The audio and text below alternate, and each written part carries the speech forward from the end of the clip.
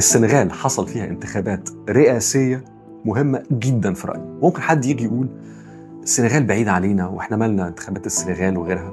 أنا في رأيي انتخابات مهمة قوي لأي حد مهتم بالسياسة وبالذات سياسة أفريقيا لعدد من الأسباب. السبب الأولاني إنه السنغال عندها تراديشن عندها تراث وباع محترم قوي في الديمقراطية وانتقالات ديمقراطية يعني أنه رئيس جمهورية يسلم رئيس آخر وانتخابات برلمانية وانتخابات رئاسية وكلها سليمة وفي إطار عظيم جدا لعدد من العقود. لكن من تقريبا سنة سنة وشوية بدأت تظهر إشارات أنه الرئيس السنغالي السابق يريد أن يستمر أزيد شوية في الحكم بولاية جديدة في عليها كلام في الدستور. فبدت ناس كتير قوي تقول أهو يعني دولة أفريقية من الدول القليلة اللي في أفريقيا اللي فيها ديمقراطية فعلا هتقع فيها الديمقراطية. وفعلا بدأت يبقى في مشاكل أو على الأقل قلاقل داخل البلد من إنه الانتخابات هتؤجل وهتحصل في فبراير 2024 لا هتحصل في ديسمبر 24 لا مش هتحصل خالص. المهم قوة سياسية مهمة في البلد بما فيها القضاء السنغالي تدخل وأوقف كل هذا الكلام. وفعلا رئيس الجمهورية السنغالي قال خلاص شهور شهور هتحصل الانتخابات وأجريت الانتخابات الرئاسية في مارس 2024 وفاز فيها ومن الجولة الأولى المرشح المعارضة السنغالية وراه وفعلا الراجل في أول إبريل 24 تم تنصيبه في السنغال في دكار كرئيسا للجمهورية. فأول نقطة تلفت النظر لأي حد مهتم بالسياسة الدولية بشكل عام والأفريقية بشكل خاص إن واحدة من البلاد القليلة في أفريقيا اللي فيها ديمقراطية حقيقية كان في كلام إنه ممكن هذه الديمقراطية تقع؟ لا ما وقعتش واستمرت وده شيء ممتاز وعظيم قوي السبب الثاني هو إنه السنغال بلد ذات غالبية مسلمة غالبية ساحقة كمان مسلمة.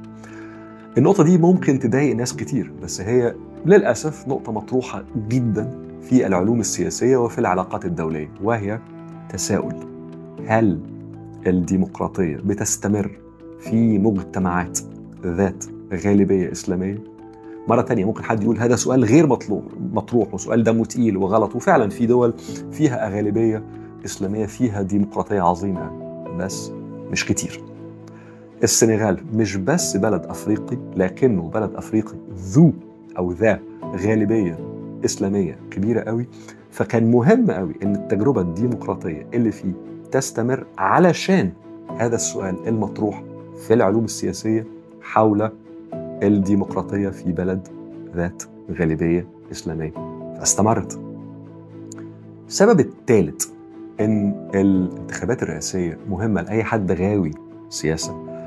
هو إنه جيو سياسيا يعني من الناحيه الجغرافية والسياسية المنطقة اللي بتسمى في الغرب الساحل ودي يعني تسمية غريبة حبتين لحد بيتكلم اللغة العربية لأن إحنا عندنا في العربي كلمة الساحل تعني ساحل البحر الأحمر لأفريقيا يعني أو ساحل المحيط الأطلنطي. لكن في العلاقات الدولية هذه الأيام كلمة الساحل تعني المنطقة الستريتش من الأرض اللي من السودان شرقا إلى السنغال والمحيط الأطلنطي غربا. في كل هذه المنطقة تقريبا في العشر سنوات اللي فاتت دول كثيرة مرت بتجارب سياسية دمها تقيل قوي ومشاكل كتيرة قوي لكن نتج عن هذه التغيرات السياسية إنه دول كتير في هذه المنطقة كانت لعقود تحت نفوذ غربي وأحيانا نفوذ فرنساوي كبير قوي تغير فيها الجو وتغير فيها النظام السياسي فخرجت من دوائر النفوذ الغربي وفي منها دول بقت ميالة حبتين إلى روسيا مائله حبتين إلى الناحية الثانية الناحية اللي في السياسة الدولية غير غربية. فمن الجيو سياسة من العلاقات الدولية.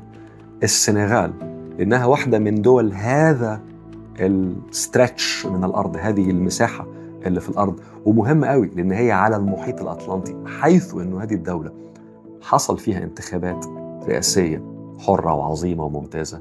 معنى ذلك وفيها النهارده إدارة جديدة إنه في سؤال حول اختيارات هذه الإدارة السياسية.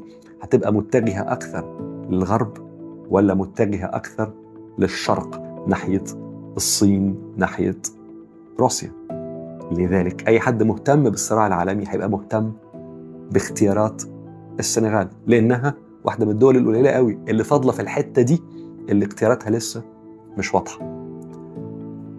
ممكن حد يجي يقول طب يعني ما فرقتش قوي أفريقيا مش مهمة؟ لا أفريقيا مهمة قوي بقى مش بس عشان الجانب الجيوسياسي لكن عشان الجانب الجيو اقتصادي يعني الجغرافي الاقتصادي. السنغال في حد ذاتها فيها طاقة أو احتماليات طاقة كتير بس ما هو أهم؟ الموجود إنه غرب أفريقيا فيها طاقة مهولة بترول وغاز كبير قوي أهم مركز فيهم هو نيجيريا. أوروبا بقالها النهارده سنتين بعد بداية الحرب على أوكرانيا تريد تغير أو تجديد مصادر الطاقة بتاعتها لأنها كان بقالها عقود طويلة قوي معتمدة على روسيا الغاز الروسي. هي النهارده عايزة بدائل للغاز الروسي. فالطاقة اللي طالعة من القارة الإفريقية في غاية الأهمية بالنسبة لأوروبا. نيجيريا كواحد من أهم أهم المصدرين في العالم للطاقة. مهمه قوي هذه الأيام. لاوروبا ممكن حد يقول لك طب إيه القصة دي؟ مالها ومال السنغال؟ النقطة إنه أغلب طرق الطاقة اللي طالعة من غرب أفريقيا ذاهبة إلى أوروبا ذاهبة الأول إلى شمال أفريقيا.